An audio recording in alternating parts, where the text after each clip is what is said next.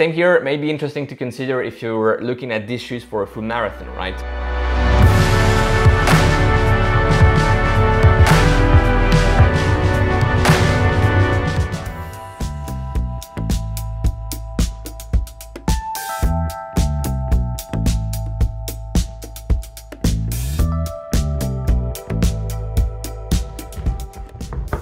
There's nothing like fresh bread, I'm telling you. This one is buckwheat and it smells amazing. And for breakfast, fresh bread, of course. it's not exactly the butter my bread thing, but it's peanut butter my bread. Does that count, Seth? So I've just attached the uh, RunScribe pods to my uh, shoes, the Vaporfly Next Percent. I'm starting with them, doing some intervals today, and I'm gonna do some with the Vaporfly Next Percent 2 and some in the Adidas Adizero Adios Pro 2. Um, very excited about that. We'll gather all the metrics and we'll see what it says.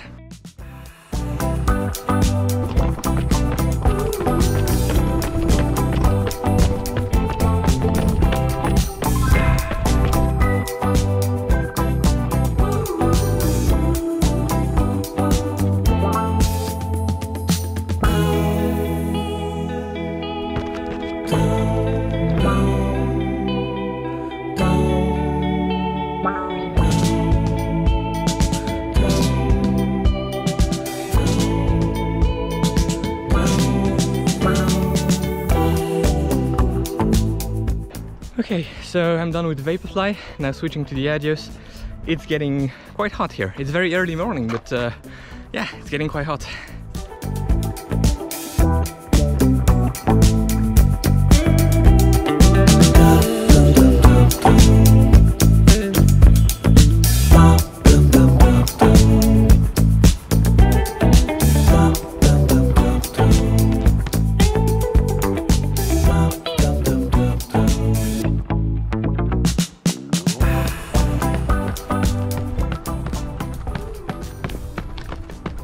Alright guys, I'm done with the testing, both shoes tested, uh, and let's go back to the pain cave to share the thoughts.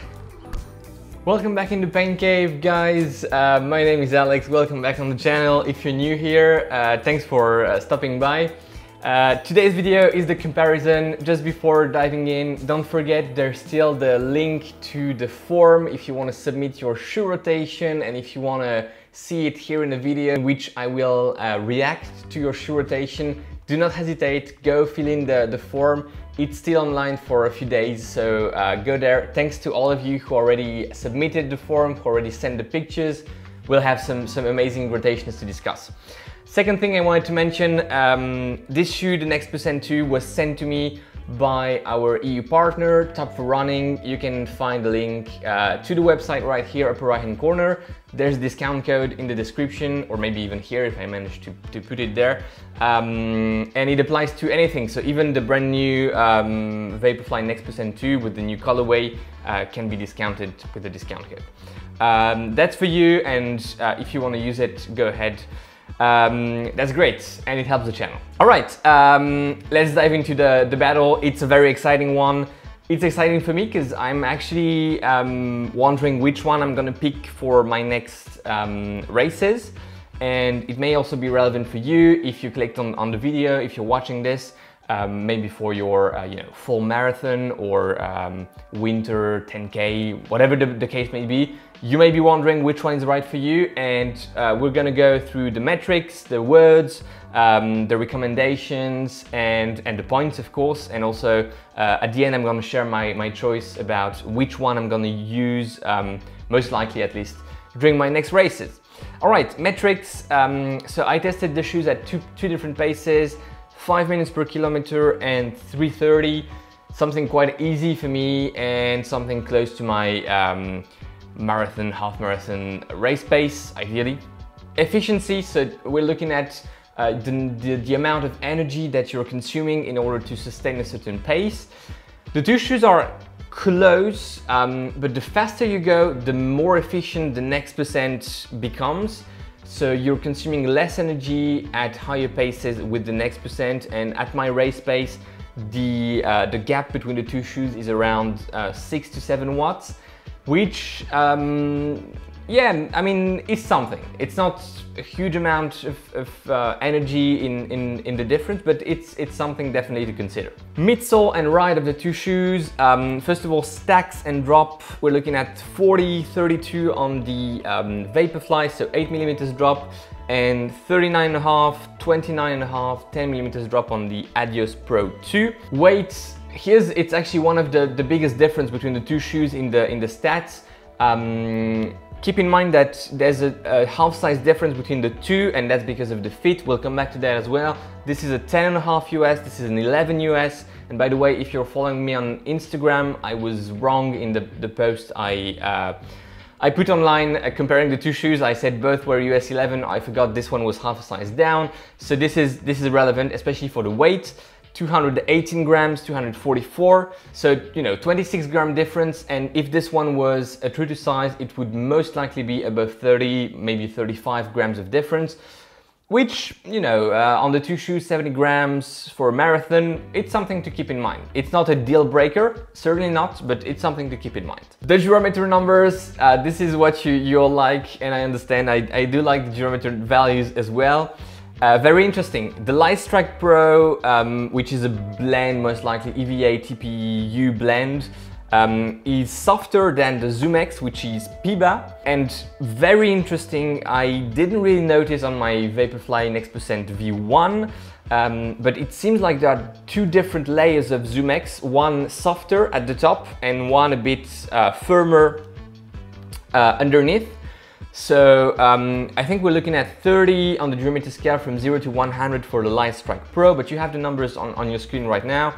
Um, something like 32, 34 for the uh, upper layer of Zoom X and in the 40s for the lower uh, layer of Zoom X, which is actually quite surprising. If you have a Vaporfly Percent V1 or V2 at home and you can check where you have that uh, in terms of feel, right? Not with, with a durometer, but in terms of, of feel, if you have that same difference, um, I'm very curious to hear in the comments if you also have that, that same uh, difference of, of, um, of durometer, of hardness, firmness of the, uh, of the foam between the, the upper layer and the, the lower layer. Uh, the difference being you know, the, the separation be being the carbon plate actually. But, so this is supposed to be softer, but actually when you're running the Vaporfly Next Percent 2 feels a bit softer. Quite interesting. I think there's, there's a big thing here going around the rigidity of the plate and how it impacts the, uh, the ride and the feel. Um, but so, you know, the durometer numbers are very interesting, but they do not always correlate with the sensations when you're running. Platform dimensions, exactly the same forefoot and heel. The, the difference is in the midfoot where the Adios Pro is more narrow. That doesn't have a, a huge impact on the ride nor on the, on the fit, but um, good to keep in mind if this is something that's relevant for you. Responsiveness, um, there is a bit more responsiveness, so a lower ground contact time on the Adios Pro 2. And when you try to bend the shoe, it feels, both are very, very rigid, right? But this one feels even more snappy, even snappier. Um, and here you have a bit more flexion. You can see it when I'm doing this. There's a bit more flexion, not much, right? This is very, very, uh, you know, snappy, firm. Um, and, but here it's even, even snappier, even, even firmer. Um, and so you have a bit more responsiveness in the numbers with the Adios Pro 2. Um, and bounciness, so we're looking at um, the time between max pronation to toe off. This is very similar. And the Next Percent 2 feels bouncier, but both shoes are, are actually very, very bouncy. And the numbers are very similar for the two. Leg pounding, um, quite surprising, but the Adios Pro 2 feels less pounding, but has a higher uh, value for shock, which means it has a higher pounding effect on your legs. And I don't really have any explanation as to why this is. I thought, you know, this may be a bit less pounding, but that's the numbers and numbers do not lie, so uh, I'm just sharing them with you. A bit less pounding with the, with the Vaporfly Next Percent 2. Same here, may be interesting to consider if you're looking at these shoes for a full marathon, right? Because leg pounding is obviously something you want to have in mind when choosing your um, race day shoe. So motion metrics, first foot strike type. I am striking, I am a forefoot striker. Uh, if, you, uh, if you're new here on the channel, I am a forefoot striker. And I have a very pronounced forefoot strike on the next percent and I'm leaning more towards the midfoot on the Adios Pro. Um, is that because of the more um, rocker geometry, which you don't really feel when, when running, but is it because of that? Is it because of the, the difference of drop? I don't really know, but this is just, you know, um, the, the metrics show that I have more forefoot strike with the next percent 2. Um, then in terms of pronation, this is a big difference between the two shoes. I have way, way more pronation on the next percent 2 uh, and way less pronation on the, um, the Adios Pro 2. Again, for those of you who are new, I'm repeating this time and time uh, again, but um, pronation isn't bad, right? So um, having a higher amount of pronation isn't bad as such. It's, it's, just something that you have to keep in mind. And pronation velocity can be um, correlated with injury risk. And same here, you have a much higher pronation velocity uh, on the Percent 2 compared to the Adios Pro. The reason for that, or at least one of them, is um, what some people out there call the lateral bias of the Adios Pro 2.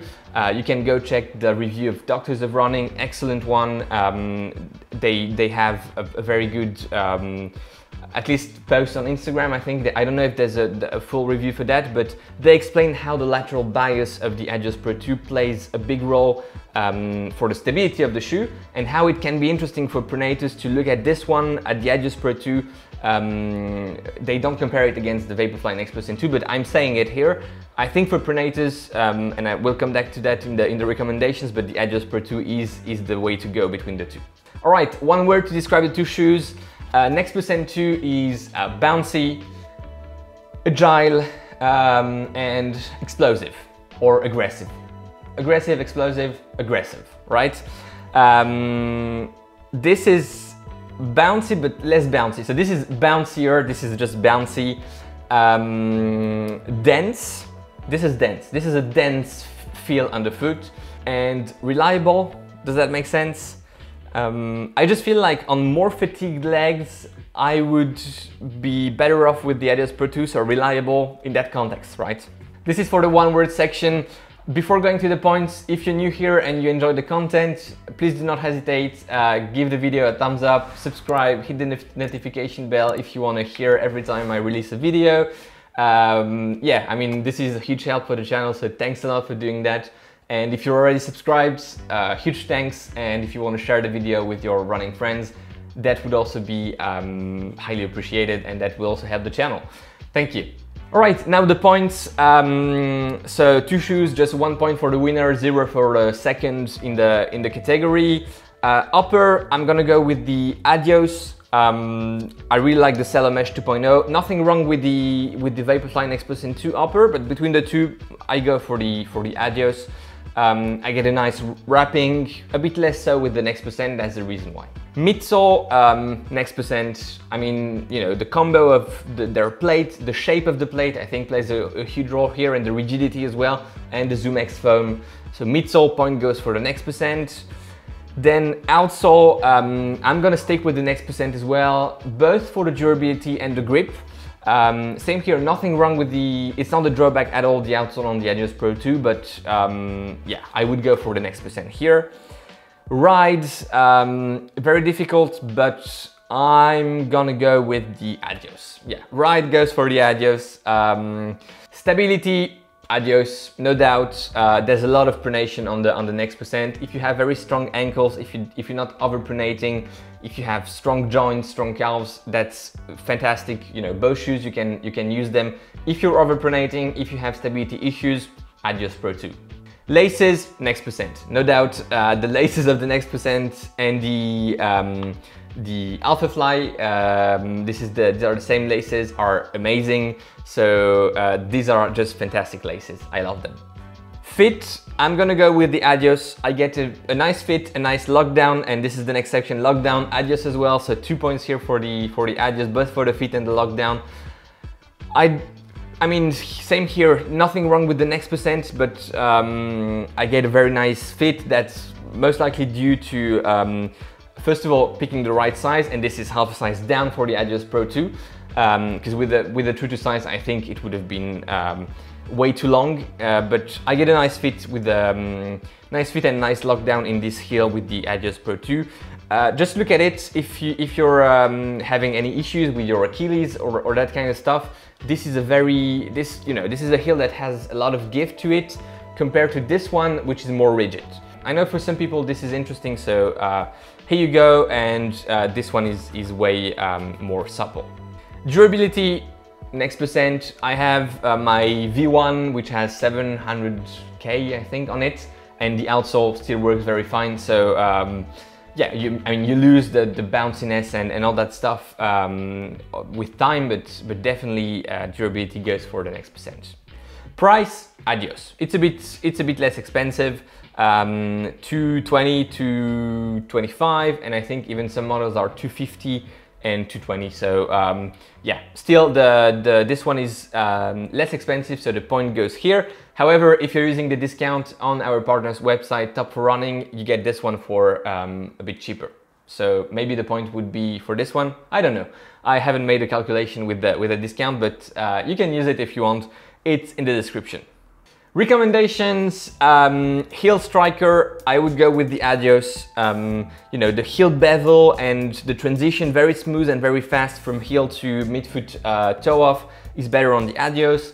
Midfoot striker, you could go with both. I would stick with the Adios for midfoot strikers. Forefoot, however, I would recommend the um, Next Percent 2.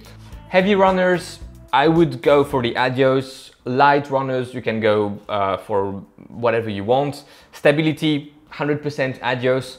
Um, or for shortened distances, maybe the next percent if you have a milled pronation. Um, but for a marathon, Adios would be, I think, a better choice for uh, pronators. And now, which one would I pick? Um, if you're new here, remember I'm a duathlete and my A event, uh, so my biggest event this year in, in my duathlon season is the long distance uh, World Championships in September. And uh, so it goes 10 kilometers running, 150 on the bike and 30 kilometers running um, to finish it off. So I'm considering one of these for the first bit of running for the, the 10K at the beginning and then I can pick another shoe for a 30K. So I'm considering other shoes for a 30K and we'll come back to that. But uh, for the first bit of my A event, the World Championships, I'm considering uh, one of these. And to be honest, I don't know. So I think I'm gonna make some testing, uh, use, you know, make a choice for my tune-up race in August. If it happens, we'll see with the, with the coronavirus, but we'll see. Um, make a choice for this tune-up race, see how it works, and then decide based on that and based on the testing I will do during my training, um, which one I pick, but this is really close for me and I may, you know, by for safety or uh, you know confidence because I raced already quite a lot in the next percent one. I may stick with the next percent. Uh, for regular running distances I think I would pick the Adios um, for um, 5k, 10k, and maybe the next percent for half marathon, marathon, and this despite the pronation thing. But um, same here, experience and the weight also plays a, a, a, bit here, I think, in my assessment. Very hard to say. Uh, it may also be like, you know, uh, two days before the event, I train with both shoes and I just pick the one I'm the most in, in mood for. Very hard to say. Uh, anyways, I hope this was useful. Let me know in the comments which one you would pick for your event and what is your event. Um, I'm looking forward to chat with you in the comments about this battle. I think it was a good one, uh, interesting one and important for uh, upcoming races for all of us. In the meantime, enjoy your run, enjoy your rides if you're going on the bike and go beyond your limits. This is the, the hashtag here on the channel, go beyond your limits. Uh, take care as well, you, your family, and I'll see you in the next one. Bye-bye.